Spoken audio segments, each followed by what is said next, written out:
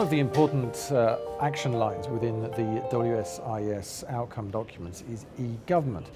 Now, the United Arab Emirates is already very well advanced when it comes to e-government. In fact, it wants to move to smart government. I have here Mr. Hamad Al Mansoori. He's the Director General of the UAE Smart Government project. And well, we all work under deadlines, Mr. Mansoori. You've got a very, very tight deadline to meet. Uh, your government is expecting you to meet the deadline of moving to smart government by May 2015. Now, that's uh, not very far away, is it? Uh, do you think you're going to meet that deadline?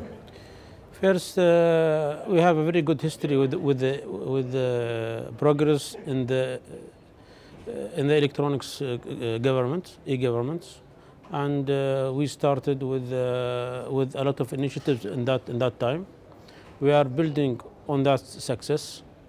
Now we are having around 200 uh, percent uh, mobile penetration in the UAE, one of the highest uh, mobile penetration worldwide.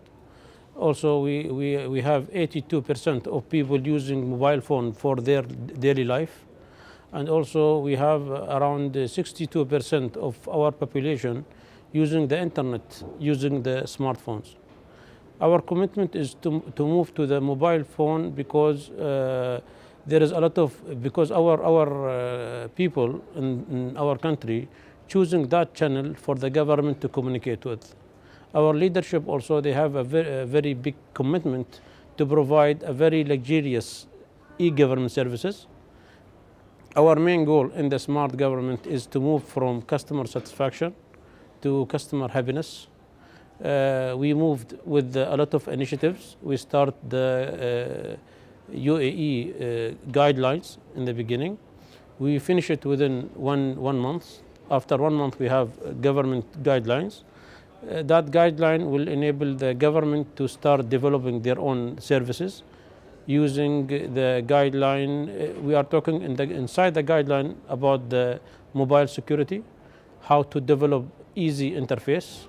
We are talking about the content in the in the in the uh, what we, what you have to have in that mobile uh, in, in the in the mobile applications, and also we are talking about the self assess, uh, assessment where the users can can uh, assess the, the, the, service and also having participation in the service or any recommendation from his side.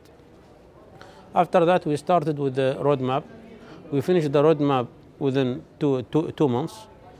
Still, we are moving aggressive to, to, to, to reach that deadline. Thanks for the Dubai e-governments, Abu Dhabi e-governments, and all Emirates e-governments we are working as one team. I think this is the main key. Uh, what Sheikh, His Highness Sheikh Mohammed bin Rashid sent to us, that we have no other, uh, other chance. We have only one chance is to, to succeed and to move all the governments to uh, smart, smart mobile, uh, smart services. So you're confident? We are confident because now we have around 105 uh, mobile applications we have around 700 uh, government services over the mobile. So we are in the very safe mood there. But still, there is a lot of challenges that we are looking, looking, uh, we are, we are, uh, we are looking for also. We, we, we started our training program, capacity uh, building for the UAE National.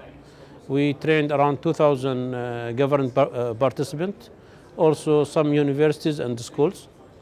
After that, we started with the Trust Service Manager, where we need to, to use our mobile as uh, ID and also as a payment gateway using NFC technology and any other uh, technologies.